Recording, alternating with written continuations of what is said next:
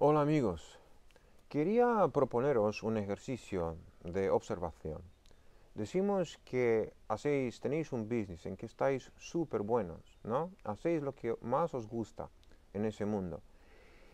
Y para poder hacer mejor vuestro trabajo, vais a decidir de comprar una aplicación. Compráis esa aplicación y vais a empezar a utilizarla y os funciona súper bien. Y decís, wow, qué bien, mira, esa aplicación me ha hecho mi trabajo mucho mejor. De repente, ese mismo proveedor que os ha ofrecido la aplicación os va a decir que, mira, pues está bien que has comprado eso, pero nosotros tenemos algunos sistemas que conectados a tu aplicación, no solo que va a mejorar el trabajo que esa aplicación hace, pero va a mejorar en general tu trabajo. Y no solo eso, pero te va a propulsar en algunos límites que ni siquiera sabías que puedes llegar vas a indagar un poquito sobre ese tema y al final tal vez te, vas a decidir comprar ese sistema y vas a hacer una inversión.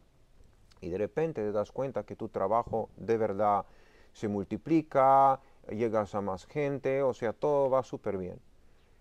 En el mismo tiempo, después de trabajar un rato en ese sistema, el proveedor va a empezar a de poner precios más altos o va a decirte, bueno, para seguir utilizando eso vas a tener que comprar otra aplicación, en fin. Todo se va a complicar hasta el punto que vas a decir, bueno, tengo que buscar otro sistema porque eso ya no me convence más. Y vas a buscar otro sistema, encuentras uno que se dice que es mucho mejor, más nuevo o más potente, en fin.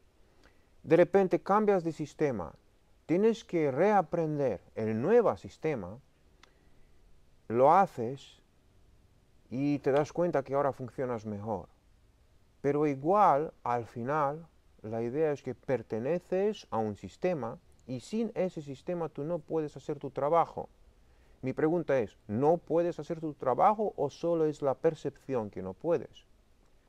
¿Eres tú dependiente del sistema o es el sistema dependiente de ti? Porque si tú no le das tu energía, tu dinero a ese sistema, el sistema no va a funcionar. Si más gente como tú le va a decir, pues no me interesa, el sistema no va a funcionar. Si tú comprendes que todo lo que tú ofreces, el real valor de que tú ofreces es en ti, te va a dar igual de cuál sistema utilizas, o vas a buscar siempre otras opciones, pero no te vas a, a hacer el esclavo de esos sistemas o de esas opciones. Vas a tratar todos esos sistemas como herramientas y nada más. Herramientas y nada más. ¿Dónde quiero llegar aquí? El yoga es una herramienta y nada más.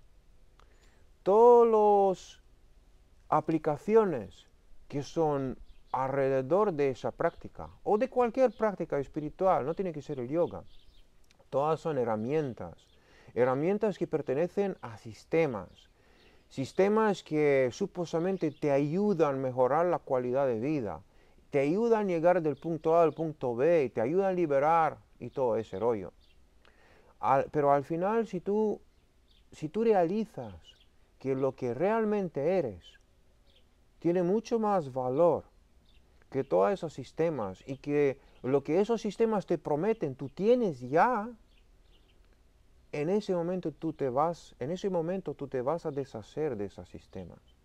Vas a utilizar la parte práctica de esos sistemas porque esa parte práctica te ayuda en algún, de, alguna manera. Pero todo lo que es extra no vas a necesitar más. O sea, vas a saber cuál es la esencia de ese mismo sistema que tú necesitas para, mantener, para mantenerte en un estado de equilibrio, para poder funcionar bien, y ya está. Y no te vas a dejar enredado por todas las demás cosas. ¿Comprendéis, amigos?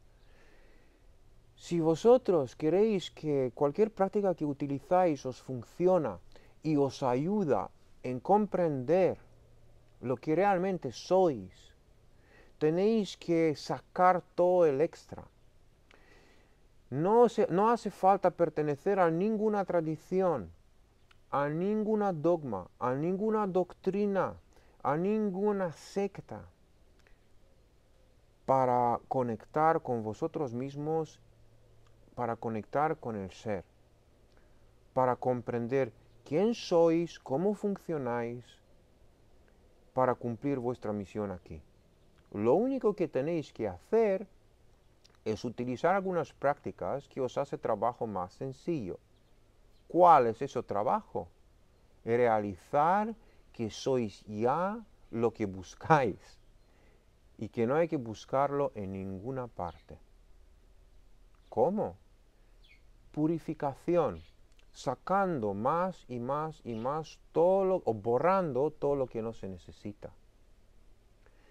Y eso, o sea, esas aplicaciones ya las tenéis registradas en vuestra base de datos. Algunos lo llaman yoga, algunos lo llaman deporte, algunos lo llaman meditación, algunos lo llaman contemplación, da igual como la llamas. Hay algunas prácticas que os ayudan a mantener vuestros vehículos en un buen estado. Y eso os ayuda a haceros claridad y comprender quiénes sois, cómo funcionáis. Y ya está. Es tan sencillo que eso. Y si vais a comprender esa realidad, es lo único que cuenta. Y de esa manera vais a poder practicar ah, con éxito todo lo que practicáis, vivir con éxito la vida que vivís y disfrutar de cada momento. Un abrazo, namaste.